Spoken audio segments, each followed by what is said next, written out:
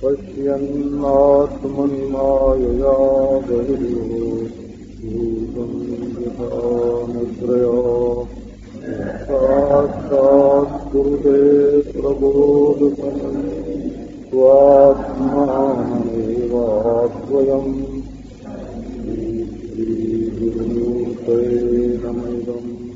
श्रीदक्षिणा सहनौ गुणस्तु सह वीर्यम् सर्वामहि तेजस्विनावधीतमस्तु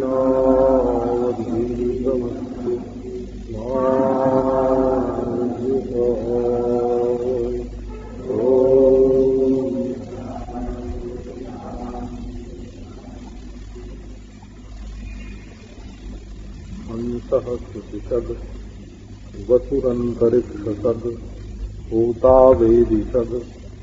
अतिथिर्दुरोणसत् नृषद्, वरसद् ऋतसद् व्योमसद् अब्जा गोजा, ऋतजा, असृजा, ऋतम, बृहत। सर्वसम्मत सत्य है। जिसको कोई अस्वीकार नहीं कर सकता। उसको ऋतम बोलते हैं। ऋतम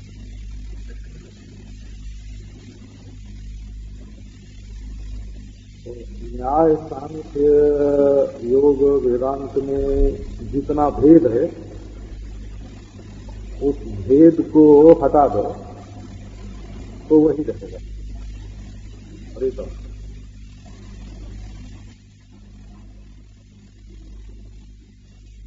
जैसे चार आदमी आपस में लड़ रहे हो ये सांप है ये माला है ये डंडा है ये दरार है।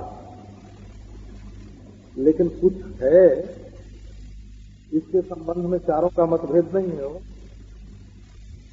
एक कहता है माला है, एक कहता है डंडा है, एक कहता है दरार है, एक कहता है सांप है। परंतु है, सब बोलते हैं। तो मतभेद है सांप माला डंडा भूचित्र में।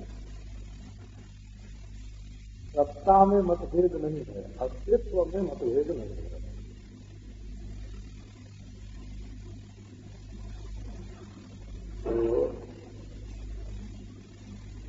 तो उसकी नाप जो कितनी है, इसमें मतभेद होना सत्य हो। क्योंकि देखो, एक चीज़ पास होती है तो बड़ी दिखती है, और दूर होती है तो छोटी दिखती है। तो कौन आदमी कितना पास होके उसको देख रहा है, इसका असर पड़ता है ना वस्तु के दर्शन पर? समझो, यहाँ से कोई मील भर दूर से देखे आदमी तो हम उसको कैसे देखेंगे? है ना? तो यदि मील भर की दूरी से और यहाँ की दूरी से फ़र्क पड़ता है तो अगले आदमी के देखने में और पिछले आदमी के देखने में फ़र्क पड़ेगा कि नहीं पड़ेगा? तो एक इंच का फ़र्क होने पर भी फ़र्क पड़ेगा। इसलिए हम लोग किसी एक चीज़ को जिसको सब देख रहे हैं, वो एक चीज़ है। पर जिस तरह की एक देख रहा है, उसी तरह की दूसरा भी देख रहा है, ये आवश्यक नहीं है। देखने की दूरी, देखने का समय, देखने के समय का वातावरण, देखने वाली आँख इन सभी बातों का असर पड़ता है। तो एक वस्तु है, उसका नाम है रस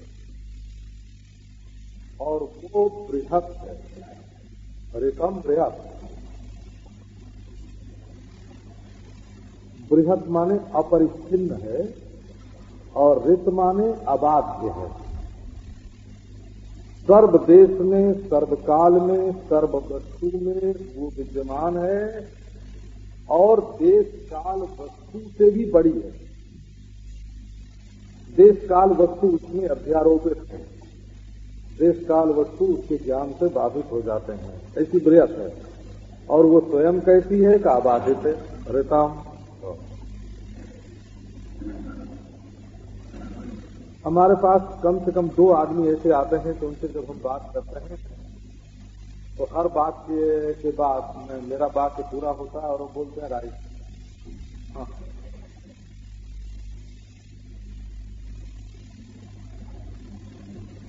एक एक तो इलाहाबाद के प्रोफेसर हैं, मनोविज्ञान के, उनकी आदत है। वो जितनी बात करते हैं, वो मनोविज्ञान पर शिक्षित लिख रहे हैं तो हमारे पास कभी कभी आते हैं बोला बरस में दो चार बार आ जाते हैं तीन तीन दिन, पाँच दिन, सात दिन रहते हैं। तो हर बात के बाद वो बोलते हैं, राइट। और एक महिला है तो वो भी बोलती हैं राइट तो, तो हम समझते हैं कि ये रितम जो है, है इसने उन लोगों की जबान पर अपनी जगह बनाई है। है ना रितम है ना रितम। तो रितम उसको कहते हैं जो कटे नहीं हो।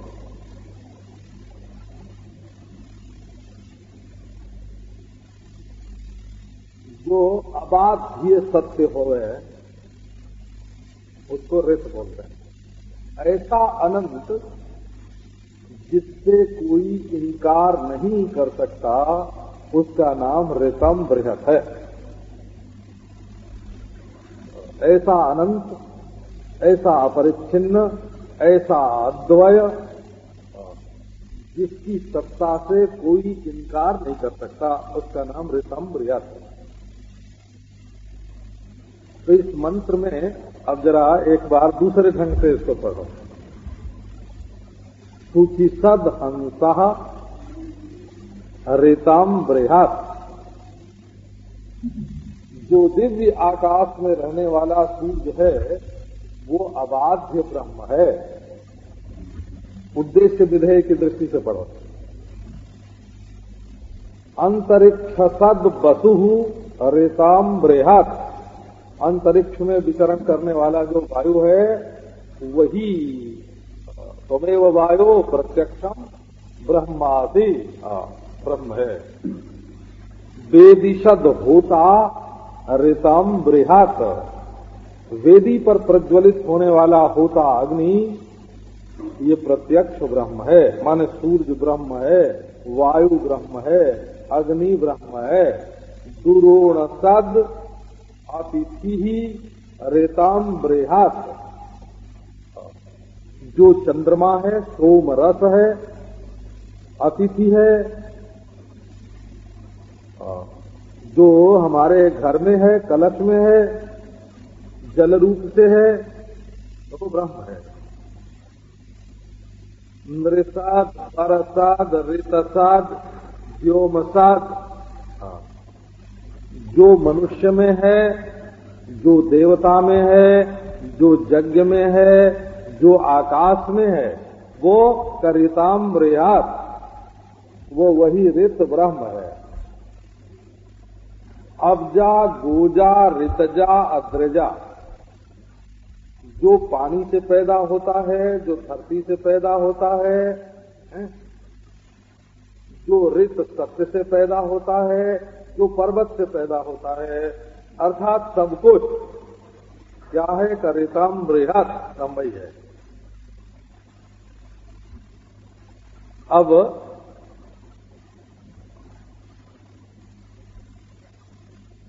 एक बात आपको कल सुनाई थी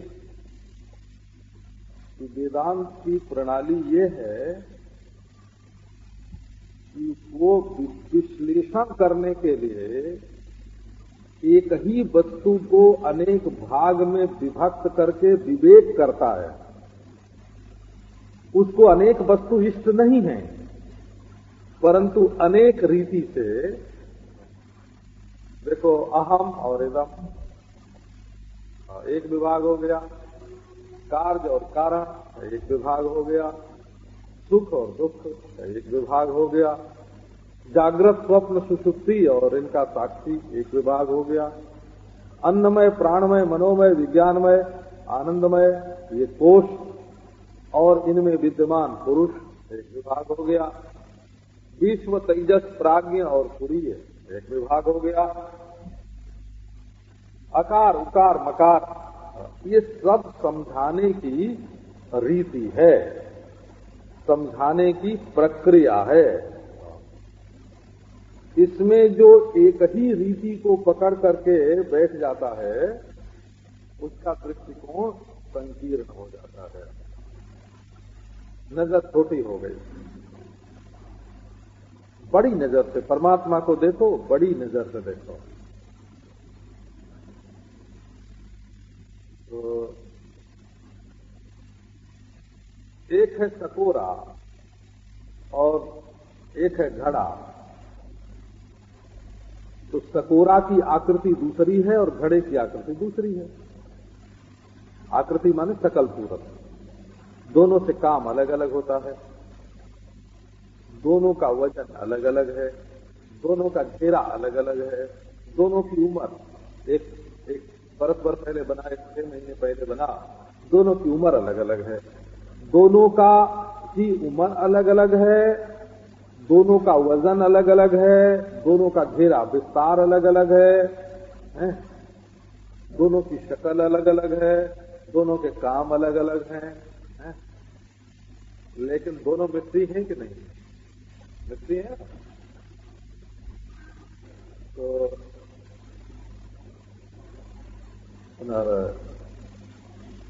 अवस्था अलग होने पर भी, वज़न अलग होने पर भी, घेरा छोटा बड़ा होने पर भी, शक्ल सूरत अलग अलग होने पर भी, उम्र अलग अलग होने पर भी?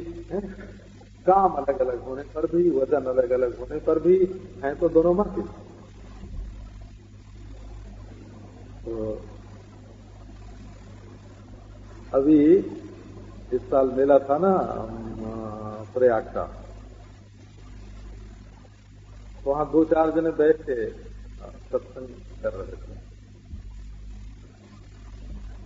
तो उन्होंने कहा, एक ने कहा कि जब जेवर तोड़ के गला दिया जाएगा, वो तिल्ली हो जाएगा, तब उसका नाम सोना होगा। बोले कि नहीं, उसका नाम तो तिल्ली होगा, उसका नाम सोना कहाँ होगा? ऐसा तो उसको तोड़ के कण कण कर दिया जाए, तब उसका नाम सोना होगा। तो नहीं, उसका नाम कण होगा, स्वर्ण कण उसका नाम होगा, उसका नाम सोना कैसे होगा? बोले, जब कंगन को तोड़ देंगे, हार को तोड़ देंगे, तब सोना होगा। आप ब्रह्म में बिल्कुल नहीं पढ़ना। सोने का निर्णय करने के लिए कोई सकल तोड़ना या बनाना ज़रूरी नहीं है। कसौटी पर उसका खरा उतरना कि ये सोना है, ये सोने की पहचान है, बोला। तो ये जो सूर्य है, चंद्रमा है, पृथ्वी है, जल है, अग्नि है, ये जो स्त्री है, पुरुष है, ये जो पशु है, मनुष्य है, इनकी शकल को तोड़ के ब्रह्म नहीं बनाया जाता है बता ये टूटी शकल की हालत में ब्रह्म है। और बनी शकल की हालत में संसार है, सो बात नहीं ज्यो की त्यों शकल रहते ही एक विज्ञान से सर्व विज्ञान की कसौटी पर वेदांत प्रमाण की कसौटी पर नाम भेद होने पर भी, रूप भेद होने पर भी, अवस्था भेद होने पर भी, है? आयु का भेद होने पर, घेरा का भेद होने पर, वज़न का भेद होने पर, है? और गुण धर्म का भेद होने पर सीध स्वभाव का भेद होने पर, जहाँ आत्मविज्ञान की कसौटी पर कसी जाती है ये चीज़, विवेक की दृष्टि से देखी जाती है, इसमें नाम रूप ही बाधित होता है एक नाम वाला दूसरे नाम वाला नहीं है, पशु मनुष्य नहीं है तो पशु नाम मनुष्य का नाम नहीं है। मनुष्य नाम पशु का नाम नहीं है। चतुष्पाद सकल मनुष्य की नहीं है और द्विपाद सकल पशु की नहीं है। आकृति, एक आकृति दूसरी आकृति से बाधित है, दूसरी आकृति पहली आकृति से बाधित है। पहला नाम दूसरे नाम से बाधित है, दूसरा नाम पहले नाम से बाधित है। ये नाम रूप ही परस्पर बाधित होते हैं। उनमें जो अखंड सत्ता है, अज्ञात नहीं। अज्ञात सत्ता नहीं, परोक्ष सत्ता नहीं, वही प्रत्यक्षायमान। जो अपरोक्ष सत्ता है। स्वर्गादि के समान परोक्ष नहीं, और घटादि के समान इंद्रिय ग्राह्य आकृति नहीं।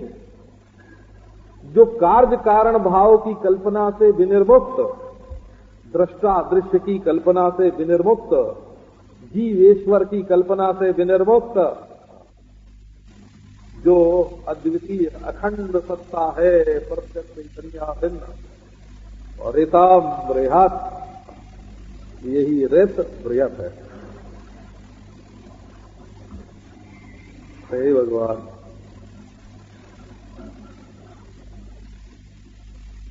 कल एक व्यक्ति आए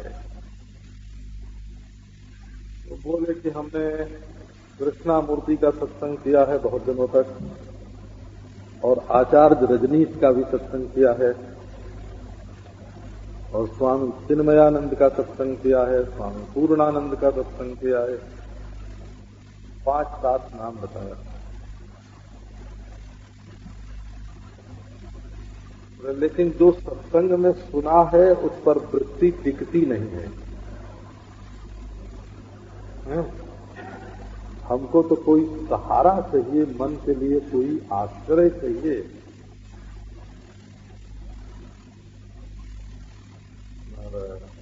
हमारा मन टिकता नहीं। मैंने कहा कि पाँच छह गुरु तो तुम्हारी आँख के सामने आते हैं। और पाँच, छह जो हैं, वो लक्ष्य सामने आते हैं। तो खैर, उन्होंने बताया कि रजनीश जी ने और कृष्णा मूर्ति ने, उन्होंने तो मूर्ति पूजा का खंडन किया है। तो जब कोई मूर्ति का मैं ध्यान करने लगता हूँ तो उनकी बात याद आ जाती है कि मूर्ति तो कोई डही नहीं।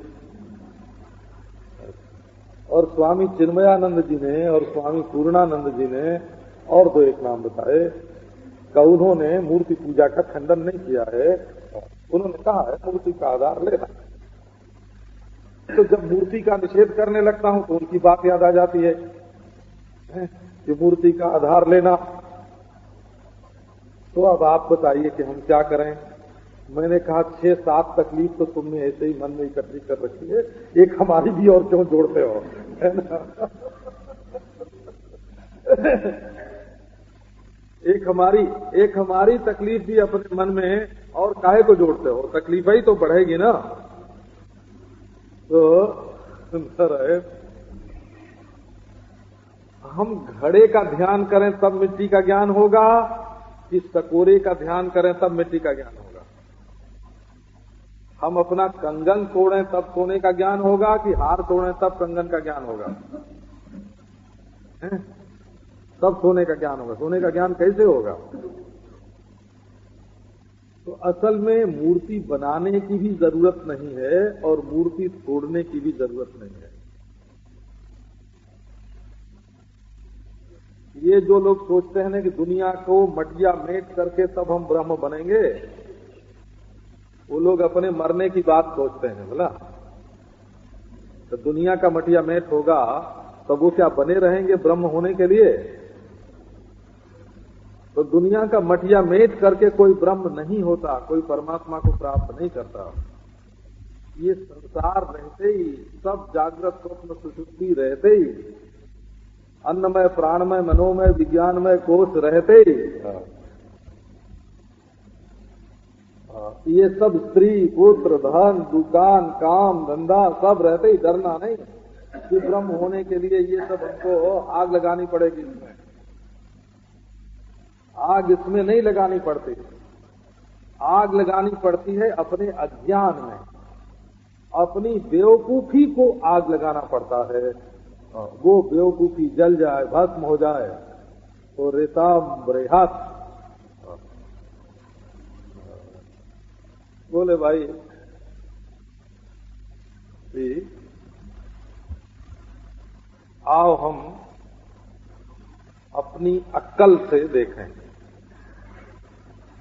तो जैसे कोई ही अपनी आँख से अगर सृष्टि के पूरे विस्तार को देखना चाहे तो देख सकेगा।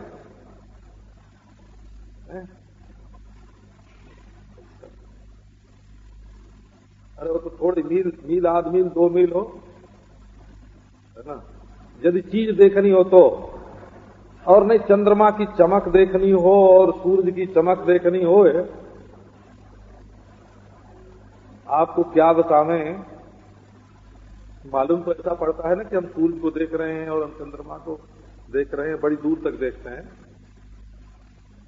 पर वो चंद्रमा और सूर्य की किरणें जितनी हमारी आँख में घुसती है ना, जैसे कैमरे के भीतर, जब आदमी की परछाई घुसती है तो उसकी फ़ोटो आती है। इसी प्रकार ये सूर्य चंद्रमा हमारी आँख में घुसते हैं तब मालूम पड़ते हैं। ये आवाज़ है ना आवाज़? आवाज़ हमारे कान में घुसती है तब मालूम पड़ती है। और टकराती है हमारे कान के पर्दों से तब मालूम पड़ती है। ये नहीं कि हम उतनी दूर तक की आवाज़ सुनाई सुन लेते हैं। कोई एक मील से पुकारे तो हम सुन लेते हैं। तो वो बात नहीं, वो पुकारी हुई आवाज़ अगर हमारे कान में आवेगी। दिल्ली रेडियो तो बोल रहा है, दिल्ली ही स्टेशन से ब्रॉडकास्ट तो किया जा रहा है। लेकिन तुम्हारे रेडियो में ताकत हो तब ना उसको ग्रहण करेगा। तो ये कान जो है ये रेडियो सरीखा है वो। तो ना, अब गंध फूल में नाक हमारी जाके गंध नहीं सूंघती है। फूल की फैलती हुई गंध जब हमारी नासिका में आती है तब ग्रहण होते हैं। इसका मतलब ये है कि तुम्हारी आँख ब्रह्म के विस्तार को देख नहीं सकती। और तुम्हारे हाथ उसको नाप नहीं सकते और पाँव उसको चल के उसका अंत नहीं पा सकते, बोला। कछाओ बुद्धि के ही घेरे में सब ले लें तो बुद्धि घेरे में लेगी नहीं, कल्पना करेगी। आप देखो अनादि और नित्य काल और बिना और छोर का देश, बिना कार्य कारण की वस्तु, आँख बंद करके जब आप बैठोगे तो बुद्धि वहाँ वहाँ अनादि भूत में जाकर उसका स्पर्श नहीं करेगी और अनंत भविष्य में जाकर उसका स्पर्श नहीं करेगी। एक कल्पित आदि और एक कल्पित अंत बुद्धि लेकर के बैठ जाएगी। बोले, आओ, हम साक्षी से आदि अंत देखें। अरे भाई, जो चीज़ है ही नहीं, उसको साक्षी से देखेगा तो कल्पना द्वारा ही देखेगा। साक्षी को भी विशेष का अनुभव बुद्धि के द्वारा होता है। और बिना वृत्ति के, अविद्या वृत्ति होवे, चाहे बुद्धि वृत्ति होवे, साक्षी जो है, यदि परिच्छिन्न को देखता है तो वृत्ति के द्वारा देखता है। सब तो भाई, हम कैसे ब्रह्म का दर्शन करें, ब्रह्म का साक्षात्कार करें? अरे, जिस बुद्धि में भ्रम हुआ है, उस बुद्धि में एक प्रमाण जन्य ज्ञान का उदय हो जाने दो भ्रम मिट जाने दो। तुमको कुछ बनना बिगाड़ना नहीं है। न पंचभूत में कुछ बनाना बिगाड़ना है और न परमार्थ में कुछ बनाना बिगाड़ना है।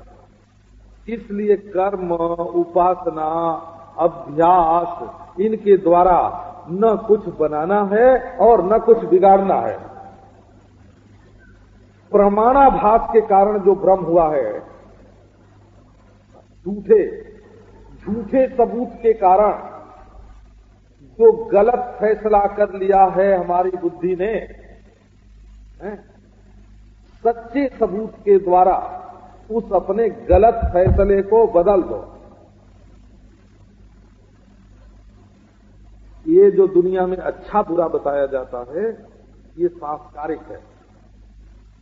सांस्कारिक है माने ये शरीर से अच्छा कराने के लिए किसी काम को, किसी भाव को अच्छा बताया जाता है।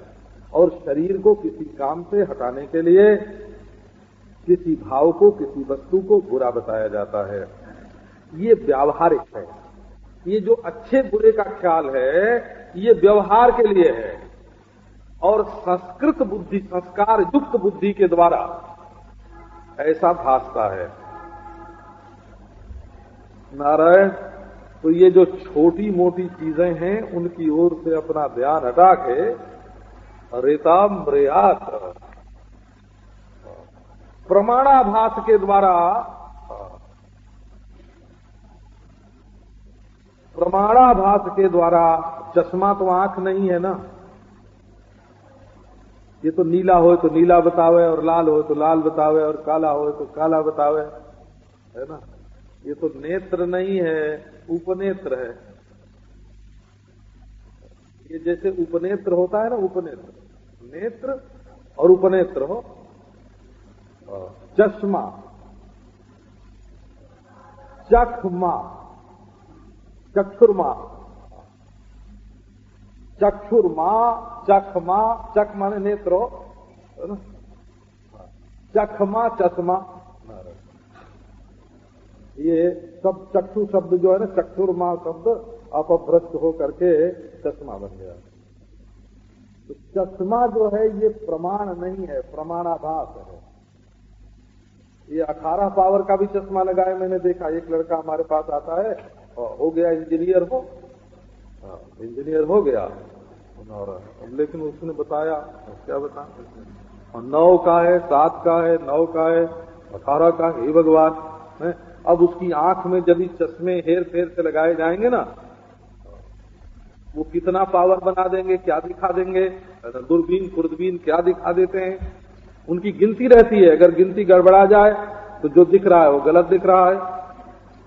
समझो एक हाथी को पहाड़ बनाकर दिखाने की क्षमता रहती है। हाथी को पहाड़ दिखा दें। एक छोटे कीड़े को खून में ये मगर दिखा देते हैं। उनमें एक छोटा सा कीड़ा होता है, उसको घड़ियाल के बराबर, हाथी के बराबर दिखा देते हैं। इतना, इतनी शक्ति होती है। अब वो यदि उसके, वो खुर्दबीन से बताए हुए परिमाण को क्या तुम सच मानोगे? गिनती लगा के कि ये कितना गुना बताता है, तब न निश्चय करोगे कि औसत, एक आँख की औसत, आँख की औसत कल्पित है। आँख की औसत बिल्कुल कल्पित है, जैसे वर्तमान कल्पित है ना। भूत और भविष्य के बीच में विचार करें तो वर्तमान नाम की कोई चीज़ नहीं मिलेगी। वर्तमान विचार सिद्ध नहीं है। वर्तमान कल्पना सिद्ध है। इसीलिए आँख औसत दर्जे की आँख प्रमाण सिद्ध नहीं है, कल्पना सिद्ध है।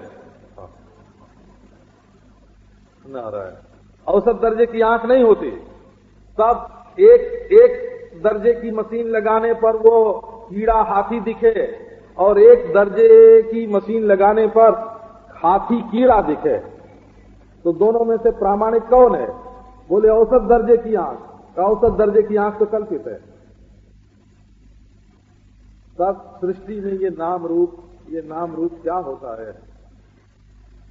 तो जब नाम रूप का विवेक करते हैं कि ये परिच्छिन्न, नाशवान है, उत्पत्ति और नाशवान है एक घेरे में है तो एक कल्पित घेरे में है, क्योंकि और छोर रहित देश में जो घेरा होगा, वो कल्पित होगा।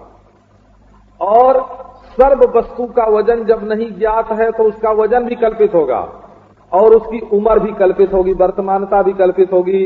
ये अगर आपके ध्यान में ये बात न बैठती हो तो बैठाने की कोशिश करें कि प्रत्येक वस्तु की उम्र, प्रत्येक वस्तु की लंबाई चौड़ाई, और प्रत्येक वस्तु का वज़न। ये अनंत में केवल कल्पित रीति से ही एक औसत दर्जे की माध्यमिक कल्पना माध्यमिक कल्पना से ही ये मालूम पड़ती है और अनंत की दृष्टि से इसका कोई अस्तित्व नहीं है। तो सच्ची चीज़ वही अनंत है और बाकी चीज़ अपनी अपनी मान्यता के अपनी अपनी मान्यता के कल्पना के, है ना, कल्पना के अनुरूप हैं, क्योंकि औसत दर्जे की मान्यता ही कल्पित है। औसत दर्जे की आँख, कल्पित है। तो औसत दर्जे की बुद्धि हो, कल्पित है। और औसत दर्जे की दवा। हमको तो एक डॉक्टर ने बताया कि जब दवाओं का परीक्षण करते हैं तो समझो कि एक दवा से एक ही रोग के सत्तर रोगी अच्छे हो जाएँ। तो बोले, अभी दवा प्रामाणिक नहीं हुई। अस्सी रोगी अच्छे हों तो दवा प्रामाणिक हो गई। हाँ। और सत्तर मरे और सत्तर ज़िंदा हों तो क्या होगा? है ना, पचास मरे और पचास ज़िंदा हों तो क्या होगा? है ना? हे भगवान, ये सब औसत जितनी है ना औसत, वो तो आपने सुना होगा ना, औसत आई ज्यो की त्यों और बाल बच्चे डूबे क्यों? एक कायस्थ सज्जन थे हाँ। तो महाराज अपने बच्चों को लेकर के कहीं नदी पार जाना चाहते थे। तो नाव पर कुछ जाने से पैसा लगता था। तो कायस्थ सज्जन ने कहा कि आओ पानी नाप लें, देखें है कितना। तो थोड़ी दूर तक पानी निकला, कोई एक फुट। कहीं निकला तीन फुट। कहीं निकला आठ फुट। तो सब जोड़ के उन्होंने औसत निकाला। औसत निकाला तो दो ढाई फुट की ही औसत आई, ज़्यादा नहीं आई। तो उन्होंने बच्चों से कहा, ढाई फुट तो पानी है, पार कर जाओ। और पार करने में महाराज बच्चे डूब गए। बोले, भाई, औसत आया, ज्यो का त्यों फिर से हिसाब किया। बोले, औसत आया, ज्यो का त्यों बाल बच्चे डूबे क्यों? तो ये ये सारी गिनती जो है ना, सारी गणना सारी गणना औसत निकालने तरीके सृष्टि की सारी सारी गणना जो है, इसमें डूबना है। डूबना क्या है? कहीं मान करके परहेज करोगे तो ये सब जितनी औसत निकाली हुई है पर ब्रह्म परमात्मा में, ये न तो जड़ सत्ता में है और न तो चेतन सत्ता में है। ये सारी की सारी कल्पित सत्ता में है। एक कहते हैं जड़ सत्ता से चेतन सत्ता पैदा हुई तो एक कहते हैं चेतन सत्ता से जड़ सत्ता पैदा हुई। एक कहते हैं दोनों पक्षी दोनों ही हैं है ना? एक कहते हैं दोनों ही नहीं है, है? एक कहते हैं दोनों दो नहीं है एक ही है। ये पाँच हो गया ना? पाँच हो गया। जड़ सत्ता से चेतन सत्ता उत्पन्न हुई। ये नास्तिक मत है वो नास्तिक मत। चेतन सत्ता से जड़ सत्ता उत्पन्न हुई, ये आस्तिक मत है। चेतन सत्ता और जड़ सत्ता दोनों स्वतंत्र हैं, ये आस्तिक नास्तिक दोनों का मत है। जैन भी मानते हैं, सांख्य न्याय आदि भी मानते हैं। और बोले, दोनों नहीं है, ये बौद्ध मत है। और दोनों दो नहीं है, एक ही है, ये वेदांत मत है, पाँच ही तो हैं कुल। जड़ सत्ता से चेतन सत्ता उत्पन्न हुई। चेतन सत्ता से जड़ सत्ता उत्पन्न हुई। दोनों स्वतंत्र हैं, दोनों नहीं हैं, और दोनों दो नहीं हैं, एक हैं। हे भगवान। ये सब, है ना, बिल्कुल मामूली हिसाब है, हो। हाँ। ये तो लोग बहुत गंभीर बहुत गंभीर करके इसको आगे कर देते हैं। अब ये देखो, आदमी छोटी चीज़ को देखता है। उसमें बड़ी चीज़ बताई जाती है। या छोटी चीज़ बताई जाती है, इससे कोई मतलब नहीं है। एक आदमी को आप देखते हैं तो आँख से क्या दिखता है कि दो हाथ वाला, दो पाँव वाला, है ना, सिर वाला, आँख वाला, कान वाला ये आदमी है। मनुष्य तो आँख से दिखता है। आप पहचान जाएँगे कि ये पशु नहीं है, मनुष्य है। पर आपको एक विश्वसनीय व्यक्ति बतावेगा कि ये बड़ा विद्वान है तो आप हाथ जोड़ेंगे। वाह, पंडित जी, नमस्कार। तो एक आदमी बतावेगा ये जिस आदमी को तुम देख रहे हो, ये चोर है। है ना? तो चित्त में ग्लानी हो जाएगी। जब विद्वान बतावेगा तब श्रद्धा हो जाएगी, और जब चोर बतावेगा तो चित्त में ग्लानी हो जाएगी। आँख ने तो मनुष्य देखा, अब उसमें अज्ञात ज्ञापक कौन हुआ? चोरत्व का ज्ञापक कौन हुआ? और उसके वैदुष्य का, उसके महात्मत्व का ज्ञापक कौन हुआ? है ना? ये देखो। तो ये जो हमें इंद्रियों से ये जो परिच्छिन्न सृष्टि दिखाई पड़ रही है ना, मनुष्य रूप में, पशु रूप में, पक्षी रूप में, अरे भाई, ये जो तुम इसको लाल, काला, पीला देखते हो, अपने संस्कार के अनुसार अच्छा बुरा देखते हो, वेद भगवान अज्ञात ज्ञापन करते हैं। अज्ञात ज्ञापन क्या करते हैं? जो तुमको नहीं मालूम है, इंद्रियों से नहीं मालूम है। हाँ। तो बोले इंद्रियों से नहीं मालूम है तो बुद्धि से मालूम कर लें। एक एक ये भी बात आपको सुना देते हैं। कि बुद्धि में सामान्य ज्ञान जो है, वो तो सहज होता है। और विशेष ज्ञान जो है वो संस्कार जन्य होता है। माने ये पशु है और ये मनुष्य है, ये बुद्धि सामान्य से ज्ञात नहीं हो सकता। ये जिसको बताया हुआ है, कि माँ बाप ने बताया है, कि कोई चार पाँव का हो और धरती पर चलता हो तो उसका नाम पशु, और दो पाँव का हो और धरती पर चलता हो तो उसका नाम मनुष्य। ये आदमी के बताने पर तब पशु संज्ञा और मनुष्य संज्ञा बनती है। सामान्य ज्ञान बुद्धि में स्वाभाविक है और विशेष ज्ञान जो है वो आहित है। अध्यारोपित है। इसको बोलते हैं अध्यारोपित है। है ना? उसमें डाला हुआ है, डाला हुआ। तो अज्ञान का निवर्तक सामान्य ज्ञान नहीं होता। अज्ञान का निवर्तक विशेष ज्ञान होता है। तो ये किसी की बुद्धि संस्कार रहित नहीं होती। उल्टे संस्कार जिसकी बुद्धि में पड़ गए हैं, उसकी बुद्धि में सुलटे संस्कार डालने की ज़रूरत पड़ती है। है ना? सुलटे संस्कार डालने की ज़रूरत पड़ती है। तो जो चीज़ आँख से नहीं देख सकते, नाक से नहीं सुन सकते जीव से जिसको नहीं चख सकते, उसके बारे में दूसरा आदमी अपना अनुभव बताता है। वहाँ वचन प्रमाण होता है। बोला वाक्य प्रमाण आप तो वाक्य प्रमाण होता है।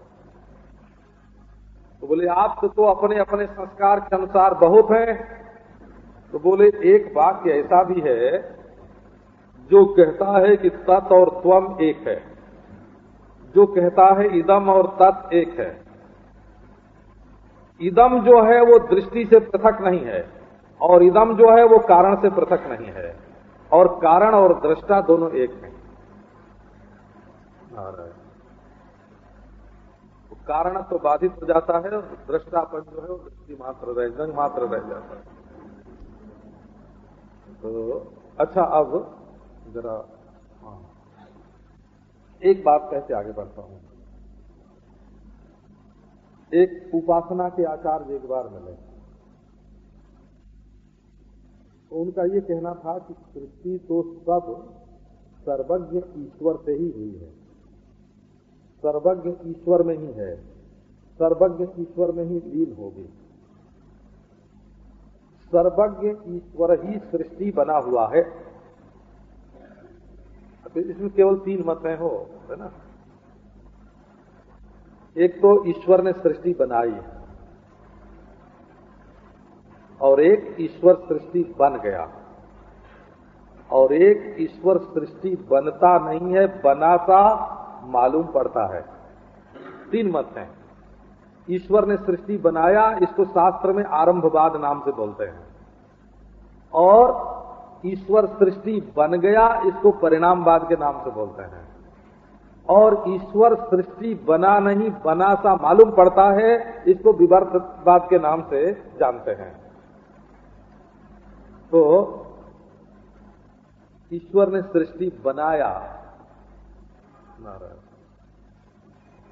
तो किसी देश में बनाया, किसी काल में बनाया, किसी चीज़ से बनाया। तो ये तीनों चीज़ पहले से रही होंगी, तब में बनाया।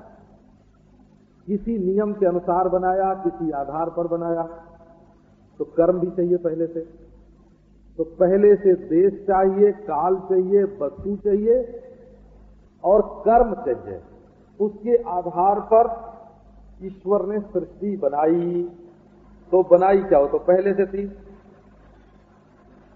देश भी था, काल भी था, वस्तु भी थी और कर्म भी थे। है ना? तो जिनके द्वारा वो कर्म किए गए, वो भी थे।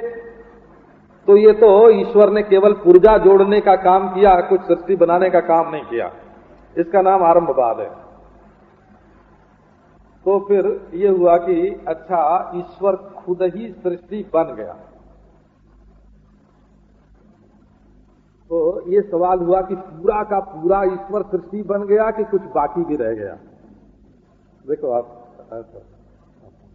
एक बार हम गोरखपुर में थे अभी सन्यासी होने के बाद गए थे।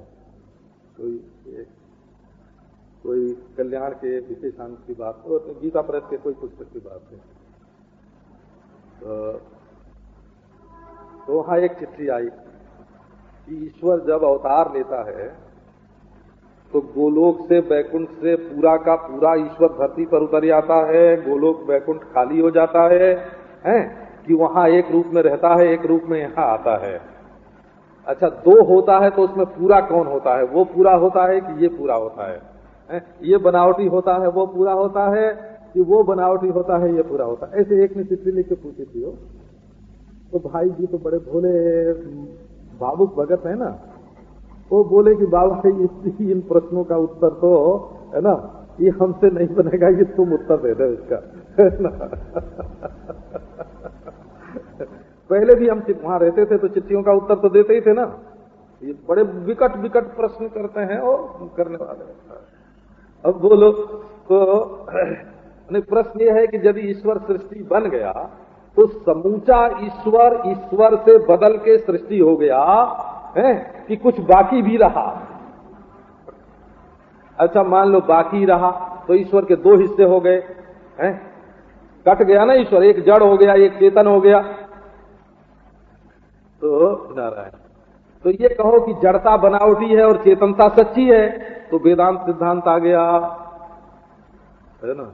क्योंकि जड़ता मिथ्या है और चेतनता सत्य है। अच्छा।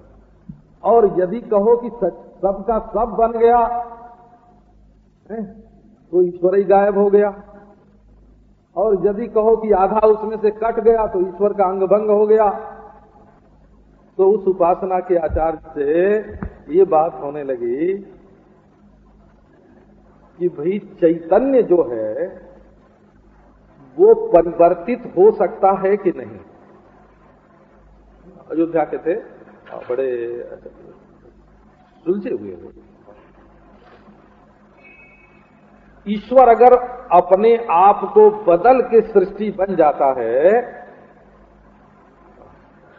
तो ईश्वर में जो परिवर्तन है, वो परिवर्तन नारायण। चैतन्य में परिवर्तन होने से परिवर्तन का ज्ञाता चैतन्य होगा कि परिवर्तित चैतन्य होगा? परिवर्तन का ज्ञान चैतन्य है ना? तो उसका तो परिवर्तन हुआ नहीं। वो तो ज्यो का त्यों रहा। अब ये परिवर्तन किसी दूसरी चीज़ में हुआ। तो बोले दूसरी चीज़ तो है ही नहीं। है ना? तब कब बोले, ईश्वर ज्यो का त्यों रहता हुआ ही सृष्टि के रूप में बांधता है। तो बोले कि मैंने ध्यान नहीं दिया था इस बात पर, बोला। कि ईश्वर यदि सृष्टि बनेगा तो देश भी बनेगा, काल भी बनेगा, वस्तु भी बनेगा, और बनने वाला रूप तो बाद में होगा। है ना? और स्वयं वो पहले से होगा और बनने वाला रूप बिगड़ जाएगा तो वो स्वयं रह जाएगा। तो एक तो ऐसा रूप जो सृष्टि के पहले था और प्रलय के बाद भी रहेगा, और एक ऐसा रूप जो पैदा हुआ और मिट गया। तो सचमुच वो पैदा हुआ कि नहीं हुआ? ईश्वर में काल कहाँ से आया? पैदा होने के पहले और पैदा होने के बाद? बोले, ये सब हम लोग जहाँ बैठे हैं इस समय देह में बैठ करके जब सोचते हैं, तब ऐसा मालूम पड़ता है। जब ईश्वर में बैठ के सोचते हैं, तब ऐसा नहीं मालूम पड़ता। ये सारी समस्या जो पैदा हुई है, वो अपने को परिच्छिन्न देह में मैं करके और फिर विचार की कसौटी पर इस दुनिया को, अपने को दुनिया मान के, है ना? तो अपने को दुनिया मान के तब दुनिया के बारे में हम विचार करते हैं, इसलिए पूरी दुनिया हमारे विचार के सामने नहीं आती, कुछ हमारे भीतर छिप जाती है। और जब हम अपने को दुनिया से अलग करके, सचमुच चैतन्य जान करके देश काल वस्तु का दृष्टा जान करके अपने को, और फिर दुनिया को कसौटी पर करते हैं तो इसका कोई तत्व ही नहीं है सृष्टि का। ये तो रेताम बृहत केवल परम सत्य अकाट्य, ब्रह्म के सिवाय दूसरी कोई वस्तु है नहीं। तो बोले, भाई, ब्रह्म जब सब जगह है ना, मैंने एक एक भी बात आ गई, सब जगह कहते ही बात भाई निकल जाती है। उसके खंड खंड का कोई भेद नहीं पड़ता बोला। तो बाओ फिर एक खंडई रूप में परब्रह्म परमात्मा को पहचाने। वामन को देखें तो उसमें त्रिविक्रम पहचान में आ जाएगा। देखो क्या हाँ, हमारे सनातन धर्म की रीति जो है ना बड़ी बलि बन के बैठे हैं। हम धरती के राजा हैं। जो धरती का राजा होगा वो देह का भी राजा होगा। लेकिन महाराज ये धरती के तो राजा भले बन जाए देह के राजा नहीं बनते हैं। एक एक जरा सी बात कहो तो कभी कभी खटक जाती है ना तो कही देते हैं। आजकल अखबारों में निकलता है कि लोकतंत्र लोकतंत्र की विजय, लोकतंत्र की विजय, लोकतंत्र की विजय। हम देखते हैं एक रियासत है। वहाँ के राजा जब कांग्रेस में शामिल होते हैं और कहते हैं प्रजा को कि तुम सब लोग कांग्रेस को वोट दो तो उनकी सारी प्रजा कांग्रेस को वोट देती है। है ना जब उसको छोड़ के स्वतंत्र पार्टी में शामिल होते हैं तब वो अपनी प्रजा से कहते हैं कि स्वतंत्र पार्टी को वोट दो और प्रजा स्वतंत्र पार्टी को वोट देती है? और जब वो निर्दलीय होके खड़े होते हैं तो कहते हैं कि नहीं पार्टी नहीं निर्दलीय तो प्रजा निर्दलीय को वोट देती है, है? जब वो कोई कहीं से अपने मेहमान को दोस्त को बुला के अपने राज्य में खड़ा कर देते हैं और कहते हैं कि लोग तुम लोग इनको वोट दो तो प्रजा उनको वोट देती है हम कहते हैं ये लोकतंत्र की जीत है, है कि ये गुलामी मनोवृत्ति का सबसे बड़ा नमूना है। ये ये गुलामी का ये गुलाम मनोवृत्ति का सबसे बड़ा ये नमूना हो गया कि आदमी स्वातंत्र कुछ सोच ही नहीं सकता कि क्या उचित और क्या अनुचित है। कोई सामंत शाही की जो मनोवृत्ति है है ना? सामंत शाही की जो मनोवृत्ति है, का वो मनुष्य के मन पर, का मनु, ये वोट बीत गया इसलिए बोल रहा हूँ है ना? अपने दिल में क्या समझ में बातें नहीं आती हैं दुनिया की? कितनी बातें आती हैं समझ में? लोकतंत्र की जीत हो गई, लोकतंत्र की जीत हो गई, कि गुलामी मनोवृत्ति बढ़ गई। एक आदमी के कहने से, है ना? 25 लाख आदमी 50 लाख आदमी, है ना? कभी इस पार्टी में, कभी उस पार्टी में, कभी स्वतंत्र, कभी मेहमान के पक्ष में नारायण, उनका कोई विचार नहीं, उनका कोई उनका कोई नारायण, है ना? अपना निर्णय नहीं, अपनी बुद्धि नहीं, ये लोकतंत्र की उन्नति हो रही क्या उन्नति हो रही? तो आप देखो, घसीटे मत जाओ, है बोला ये बलि जो है ना, अपने को मानता था, लोग अपने शरीर के तो राजा नहीं है। अपने मन के तो राजा नहीं है और मानते हैं कि हम सारी धरती के, सारी दुनिया के राजा हैं। राजा माने दूसरों को गुलाम बनाने का अहंकार। अभी फिर लौट के आने वाला नहीं है। आप लोगों में से कोई राजा हो तो माफ़ करना, है ना? अब ये दुनिया में अब ये दुनिया में फिर कभी, है ना? तो जैसे काल चक्र में सब घूमता है, वैसे ही कभी घूम के आवेगा तो आवेगा। तो बलि को ये ख्याल था कि मैं तीनों लोक का मालिक हूँ, राजा हूँ। धरती दे दू। लो ना अरे धरती तुम्हारे बाप के हाथ में नहीं रही, विरोचन के, प्रहलाद के हाथ में नहीं रही हिरण कतिपु के हाथ में नहीं रही, है? हिरण कतिपु के हाथ में नहीं रही, प्रहलाद के हाथ में नहीं रही, विरोचन के हाथ में नहीं रही, अब बलि के हाथ में कहा से रहेगी? तो उनको बड़ा अभिमान था हो कि धरती हमारी यज्ञ कर रहे थे। तो उनके सामने अब देखो बलि बड़े हो गए और भगवान छोटे हो गए। ये खुद बलि ने भगवान को छोटा बनाया कि नहीं बनाया? ये नहीं कि भगवान छल करके आए, कपट करके आए। भगवान, है ना, जब मनुष्य अपने को बड़प्पन के सिंहासन पर बैठा देता है तो ईश्वर को वहाँ छोटा हो जाना पड़ता है। सचमुच भाई ये जीव। सचमुच ये जीव मानता है कि मैं तो हूँ साढ़े तीन हाथ का। देखो, और ईश्वर ईश्वर बोले, एक शरीर के भीतर कहीं है भला, कहीं है। हा हा, कहीं है।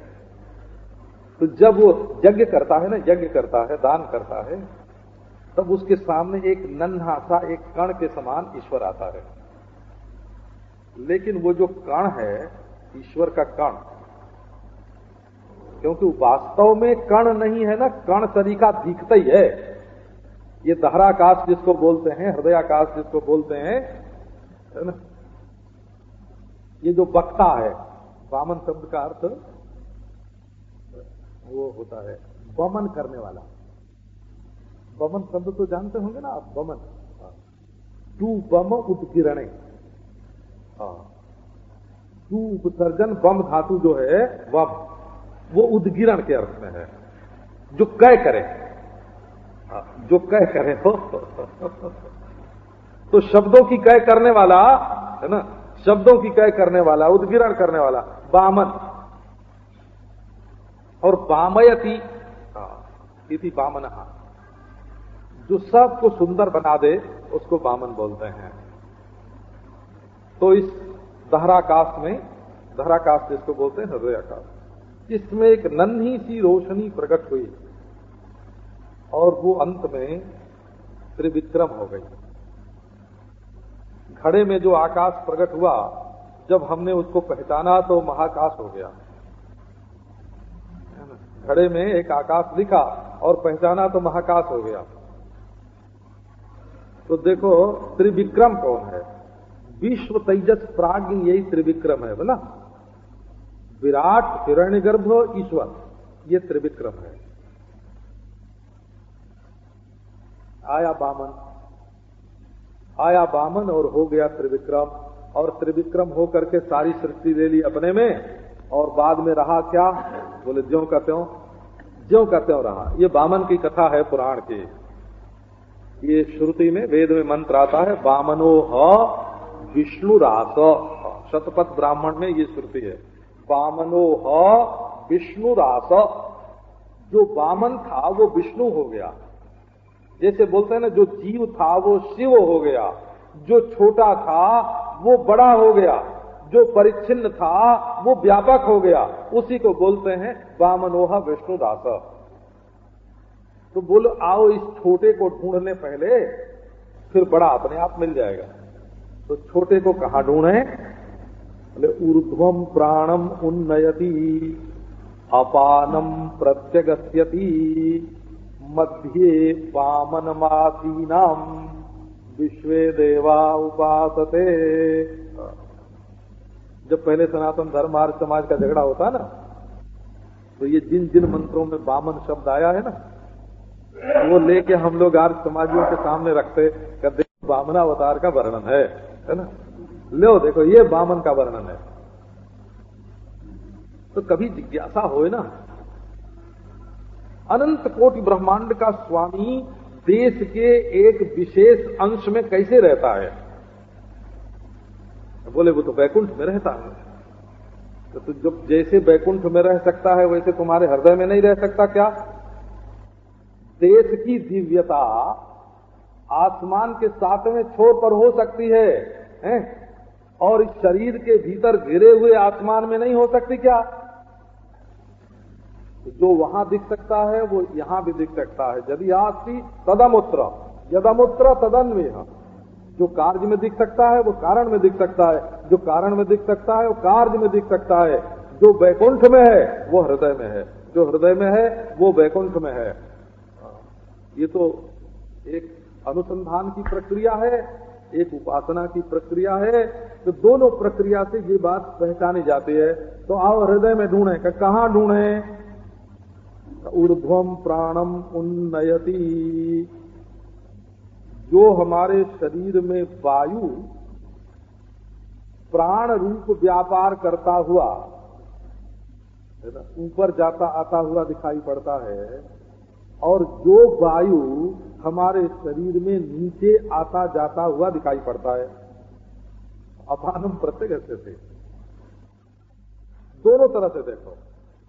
एक तो प्राण बाहर निकला बाहर निकला और आया। बाहर निकला और आया। और एक अपान वायु बाहर निकली हो। तो यदि प्राण वायु अपान वायु में से होकर निकल जाए तो क्या होगा? आपको मालूम है? ये सांस नाक से न निकले, नीचे के रास्ते निकल जाए। ज़्यादातर लोग जब मरते हैं ना तो उनके पिष्ठा निकल जाता है, मूत्र निकल जाता है, किसी का मुँह खुल जाता है, देखते हैं ना, किसी की आँख खुल जाती है। तो जब ऊपर के रास्ते खुल जाते हैं, तब अपान वायु ऊपर के रास्ते प्राण में मिल गई। और जब नीचे के रास्ते प्राण जाते हैं तो प्राण वायु अपान में मिल गई। प्राण और अपान जब दोनों एक में स्वाभाविक रीति से मिल जाते हैं, तब तो मृत्यु हो जाती है। और यदि अपान वायु को उठाकर प्राण में मिला दें तो समाधि लग जाती है। बहुत अद्भुत इसकी गति है। लेकिन एक विभाजन तो मालूम पड़ता है ना, कि कहाँ से अपान वायु नीचे जाती है और कहाँ से प्राण वायु ऊपर जाती है। इसका अर्थ हुआ हृदयाकाश। हृदय में एक ऐसी जगह है जहाँ न मिट्टी है, न पानी। न हड्डी है, न मांस है, न चर्बी है, न खून है, बोला। न नस नाड़ी है, एक ऐसी जगह है जो बिल्कुल खाली है। ऊर्धम प्राणम उन्नयती। है अपानम प्रत्यगति वहाँ बोले कि बीच में एक बामन भगवान बैठे हैं। बड़े सुंदर हैं, बोला। चिन्मात्र वस्तु के रूप में है। जड़ता का कोई संसर्ग नहीं है। और ये सारी इंद्रियाँ उन्हीं की उपासना करती हैं। बोले, वो जो चीज़ है, वो जो बामन है, वो असल में विष्णु है। विष्णु है माने व्यापक है। वो परमात्मा है। वो केवल हृदयाकाश में परिच्छिन्न नहीं है। दहरा उत्तरे व्याह धाराधिकरण है ना? धार विद्या है ब्रह्म वेदांत दर्शन में एक दहार विद्या है धार विद्या है।